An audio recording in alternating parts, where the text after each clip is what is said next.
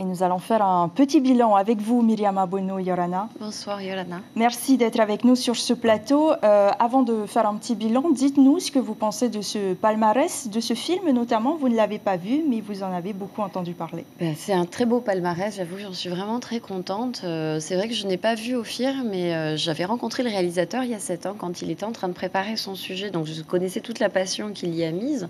Et puis c'est vrai que, bon voilà, pendant un chifo, souvent on entend beaucoup parler de certains film parce qu'il touche le public, parce qu'il bouleverse. Et donc, euh, je me doutais qu'il ferait partie des favoris. Et c'est vraiment une grande satisfaction aussi pour les deux réalisateurs, puisqu'en fait, c'est la première fois que ce film était présenté dans un festival. Il n'a pas encore été diffusé. D'ailleurs, ils sont en recherche de diffuseurs. Et ben, on espère que d'avoir obtenu le prix du, du, du, euh, jury va leur permettre euh, ben, de trouver d'autres lieux pour, pour montrer leur film. Et c'est vraiment aussi à ça que sert le FIFO. Donc, on est vraiment très heureux.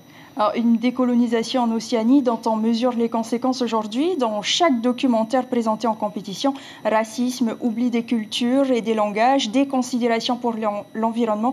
Est-ce que c'est l'objectif du FIFO? L'objectif du FIFO, c'est d'être le porte-parole des Océaniens. Et c'est vrai que depuis 17 ans, bah, le FIFO a porté des sujets très durs, hein, notamment par exemple sur le nucléaire, mais également sur l'environnement, euh, sur les violences faites aux femmes, également sur la question du genre. Hein. Chaque année, on a des sujets euh, qui portent sur, euh, sur toutes ces causes que, que, doivent défendre les Océaniens.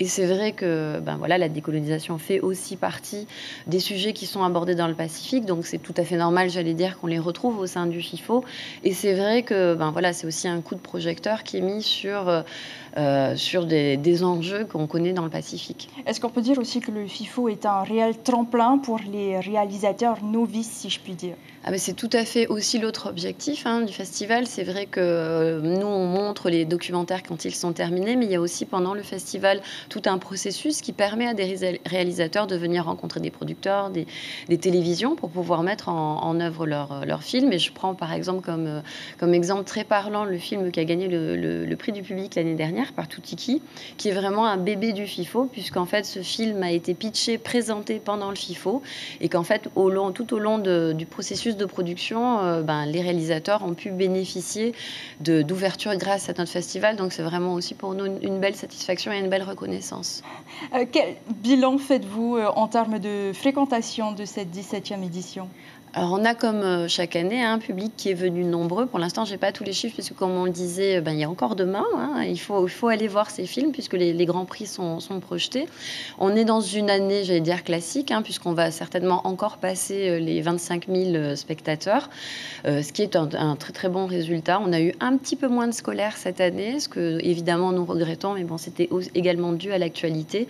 Mais durant toute l'année, nous irons de toute façon à la rencontre des écoles, puisque je rappelle que pendant toute l'année, on voit plus de 15 000 scolaires en Polynésie française. Et il y aura aussi le FIFO hors les murs. Merci beaucoup, Myriam Abonou, d'avoir accepté notre invitation ce soir.